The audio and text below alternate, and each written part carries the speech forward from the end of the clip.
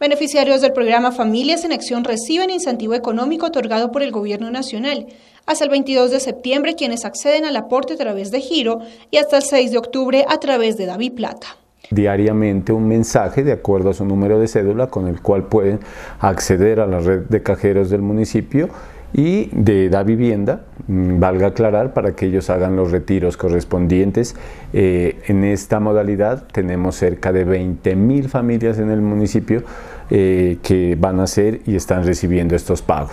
También hay que aclararle a la comunidad que eh, hay unas personas que no han hecho el proceso de bancarización y reciben sus pagos por la modalidad de giro.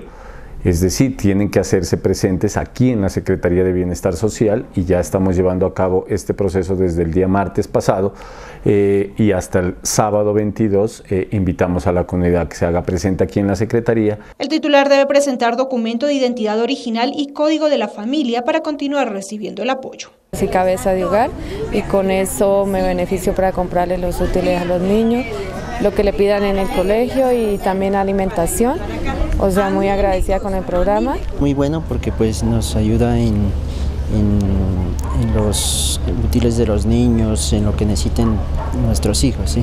Me parece muy bien la ayuda, pues y que esperamos que no se acabe esta ayuda. Quienes no cumplan con el cobro, el Sistema Nacional automáticamente los desvincula del programa.